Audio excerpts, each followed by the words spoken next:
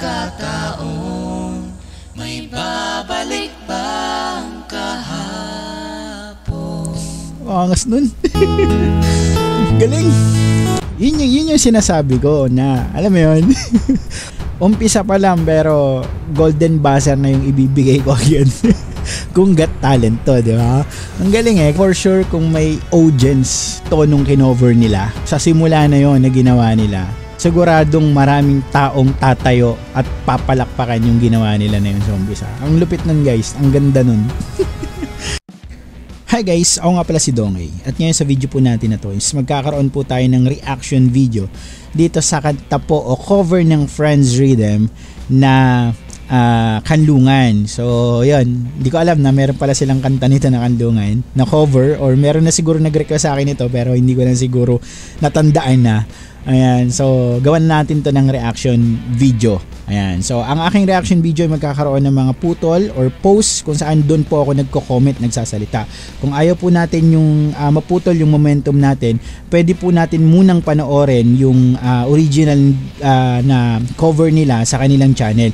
Nasa description po sa aking channel dito sa baba yung link niyan. Pakiclick na lang po. Maraming maraming salamat po sa inyo pong uh, pagsuporta at uh, pag-unawa. Yan. So wag na natin patagalin. Kanlungan cover by uh, Friends Rhythm. Ayan. Father and daughters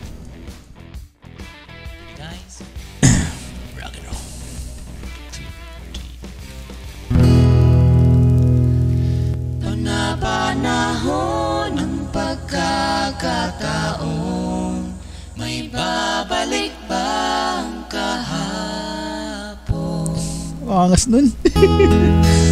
Galing. Ulitin natin ulitin natin guys. Ulitin natin yung start na yun. Ang ganda nun guys. Ang ganda ng blending. Okay ulitin natin yan Guys, rock and roll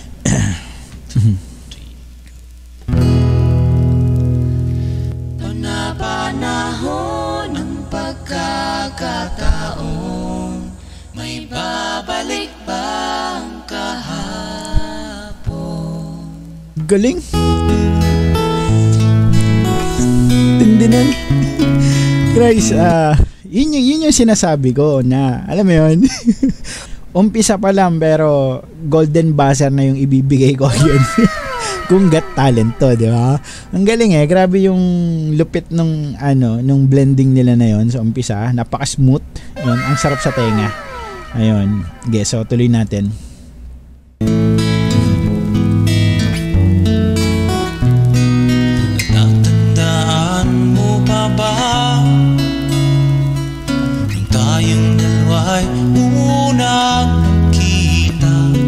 Panahon ng kamusta Sa piling ng mga bulaklak at halaman Doon tayo nagsimula. Mangarap at tumula.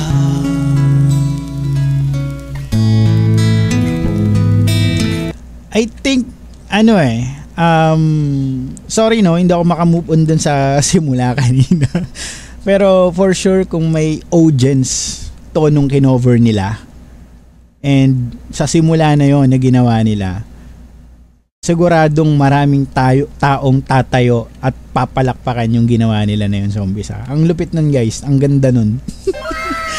okay, tuloy natin. Galing.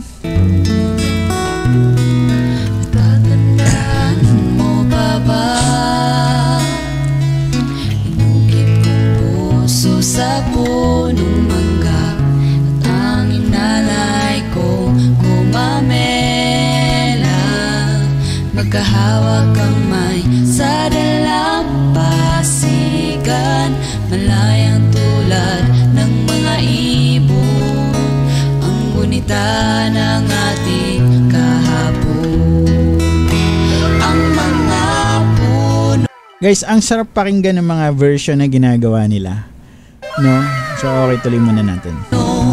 halaman ay kabiyak ng ating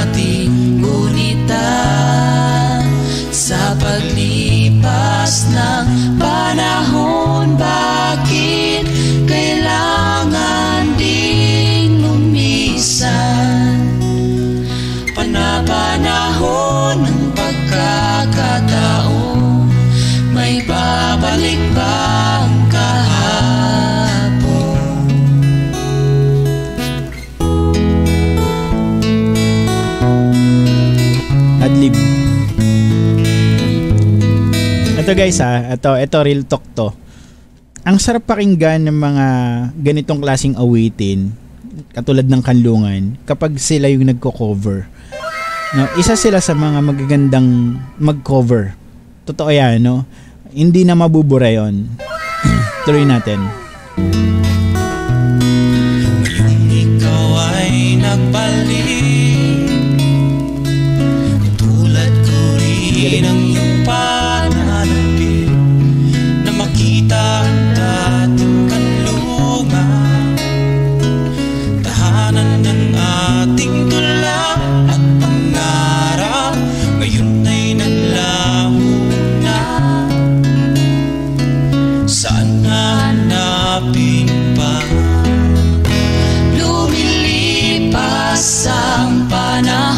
Grabe yun.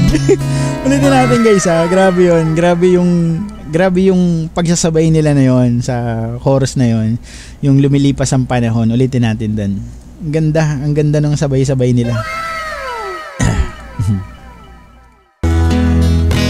Lumilipas ang Galing. panahon. Smooth Kabiyak ng ating gulita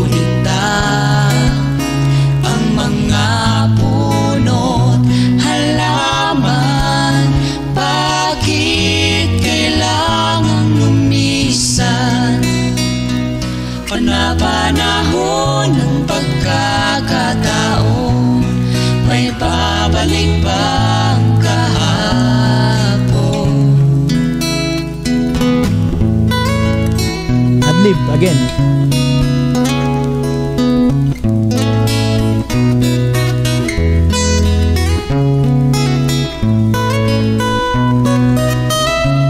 Tsaka ito yung maganda sa kanila eh. Ah, kompleto sila mag-cover. Nandun yung adlib eh, di ba?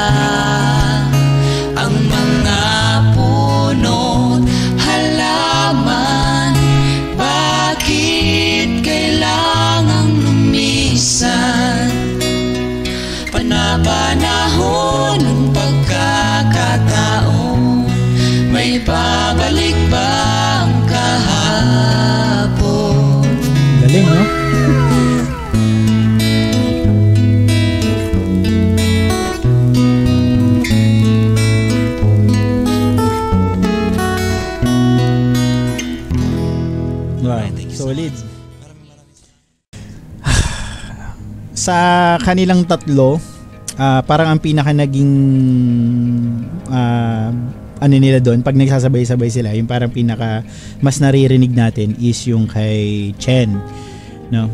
Pero si Char kasi is parang ano talaga siya, parang ah, overall sa pagkaka sa cover nila is second voice lang talaga siya or parang siya yung harmonic parang ganun.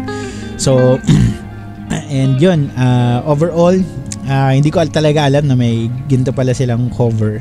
So ngayon ko lang nakita. Pero siguro may ano na talaga, merong ah, nag-request na talaga sa akin ito. And sa dami nagre-request, hindi ko nata- hindi ko natandaan, hindi ko siguro nailista. Ayan, so pasensya na. Pero yun, sobrang tindi nito kanlungan guys. So, salamat po sa inyo. And gusto ko lang mag-message syempre. Ah, alam natin yung nangyari sa mga nasalanta ng bagyo. Ah, ayan, apektado din yung ah, France pero hindi naman ganun kalaki yung naging ano nila. Ah, ligtas naman sila. Ah, pina, pinaparating nila yun sa atin yung mensahe na okay sila. Pero syempre apektado sila sa kuryente, etc. No? And marami rin tayong mga kababayan sa Bohol, ah, sa Cebu, basta yan sa parte ng Visayas na ah, apektado talaga ng bagyo. And maraming mga manonood yung alam ko na sobra talaga na apektuhan ng bagyo. Sana um, ah, magpatuloy tayo sa pagdarasal para sa kanila. Kasi hindi ganun kadali makarecover sa ganitong klase ng ah, dilubyo.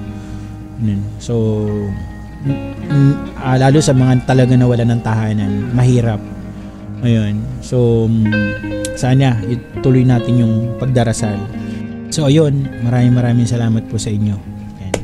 Ingat po kayo palagi and God bless po sa inyo. Muli ako po si Dong.